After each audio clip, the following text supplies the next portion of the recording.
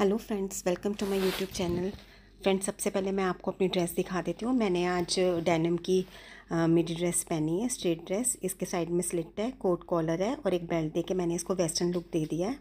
अब फ्रेंड्स आज मैं आपको दिखाने वाली हूँ बैक नेक्स जो डीप है और बहुत ही सुंदर है। आपको कहीं भी पहन के जाना हो तो आप में एक अलग ही कॉन्फिडेंस आएगा। आप इसको ज़रूर ट्राई कीजिएगा। जब भी हमने कहीं जाना होता है तो हम सोचते रह जाते हैं, हम डिफरेंट सा क्या पहने जो हर किस, हर कोई अट्रैक्ट हो जाए हमसे। तो फ्रेंड्स ये वो ही नेक्स हैं। ये देखिए, मैं आपको फ़र्स्ट दिखाती हूँ, इसमें राउंड नेक है और इसमें मैंने हैंडमेड हैंगिंग्स दी हैं। सब में गोटे का वर्क है। गोटे का वर्क मैंने इसलिए दिया है क्योंकि फ्रंट में भी गोटे का वर्क है तो सिमिट्री होनी ज़रूरी है। सारी ये हैंगिंग्स देखो, कितने प्यारे हैंडमेड हैं। और ये सेकंड है, इससे पहले मैंने प्लेन फैब्रिक ऐड किया है बैक में।